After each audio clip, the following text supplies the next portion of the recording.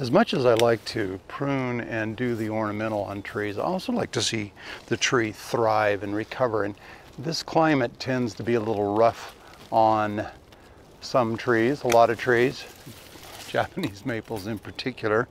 And so I weigh against being artistic in an ornamental way against the value of the canopy. And this tree has been in recovery. It was pretty significantly stressed when I was here before.